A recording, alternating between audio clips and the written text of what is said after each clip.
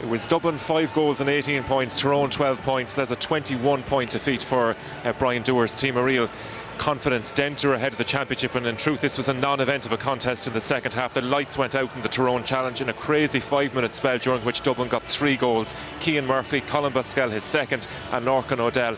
That put a gap of 21 points between the teams. And while it one stage got down to 20 points it uh, finished at 21 points. Uh, Con uh, Paul Mannion kicking a couple of scores on his introduction. But overall, uh, John, this uh, this game was over a long way out. Yeah, it could have been a lot worse as well than the, than the five goals suggest. And to answer Des's question, I, from memory, I think Kerry gave Tyrone a bit of a pacing in the league in 2021.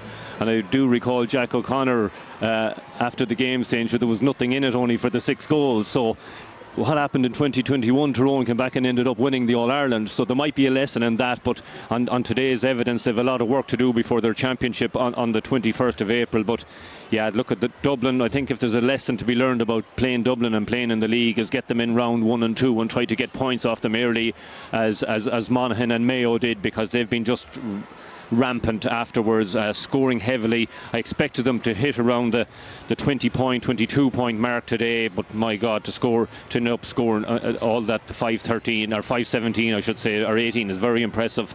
But yeah, look at a lot of work for, for Tyrone to do, and uh, Dublin and and uh, Derry, which should be a fascinating, actually, repeat of last year's Division Two final is the Division One pairing this year. Yeah, Interesting, yeah. I was just going to say that